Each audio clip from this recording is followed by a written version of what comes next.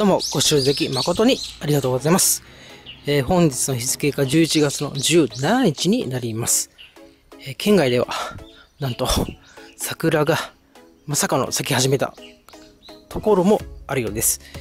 で、今回はですね、このディフェーザーも前 DIY で作ったんですけど、ここの部分がですね、洗車中に取れてしまいまして、まあ、しっかりくっついてってるとこはくっついてるんですけど、外れてまた作り直すも大変なので、今回はこの接着しているところの強化をですね、やっていこうと思います。しばらくノきそうではないんですけど、水分を結構吸って重たくなるとポロンと落ちてしまったので、今回は作り直さず、ここの L 字のとこですね。ここを強化していきます。じゃあ一旦お部屋の方へ行きます。はい、ではお部屋の方へ来ました。で、取れてしまった羽のですね、上の部分の長さを測りますと、3.3センチですので、今回は強化をするという目的もあって、えー、名前を言いますと、エコアングルブラック。これ配線を隠すものですかね。これを 1m のものを買ってきました。まあ、もっと短いのないのかなと思ったんですけど、これしかなかったです。値段は100円ちょっとです。で、これをですね、今回100均で買ってきた。これでですね、ちょっとずつちょっとずつ削っていきたいと思います。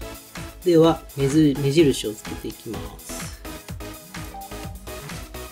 こんな感じで、ちょっとね、これに見えるぐらい。で、続けて、同じように、チェックをつけていくんですが、本来はちゃんと測った方がいいんですけど、後から削って、まで削るので、こで微調整していきます。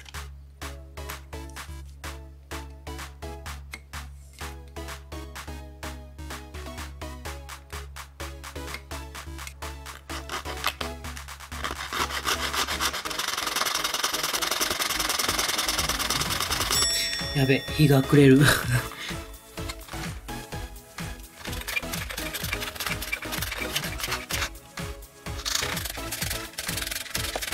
ウェイ。ウェイ。ウェイ。ウェイ。はい。では予備も含めて結構作りました。では、ペーパーで整えていきます。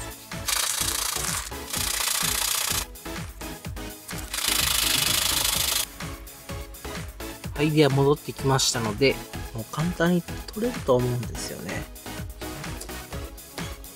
もう、これぐらい、ポロンと取れてしまいますので、まあ、自分で DIY で取り付けたものに関しては、ほんとね、ちょこちょこ、まあ皆さん見てると思うんですけど、チェックをね、時々してやるといいですね。自分だけじゃなくて、やっぱり他人にどうしてもですね、迷惑がかかってしまう場合がありますので。では、あとはこの辺を脱脂しまして、新しく 作ったこいつをですね、取り付けていきたいと思います。不思議とですね、これぶっちぎりって書いてあるこの下の、この辺ですね。紙のステッカーなんですけど、案外持ってます。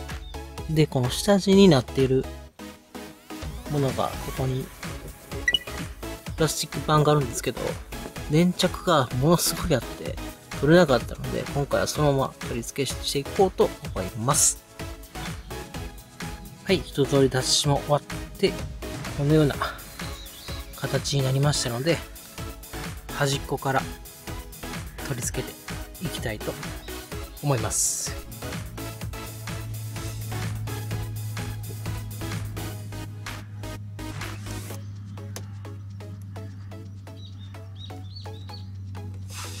はい、ということで4つともですね、取り付けが完了しました。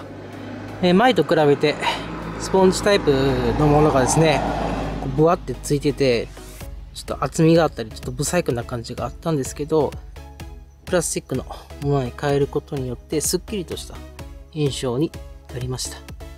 ただ、そのスポンジタイプの両面テープが悪いというわけじゃないですね。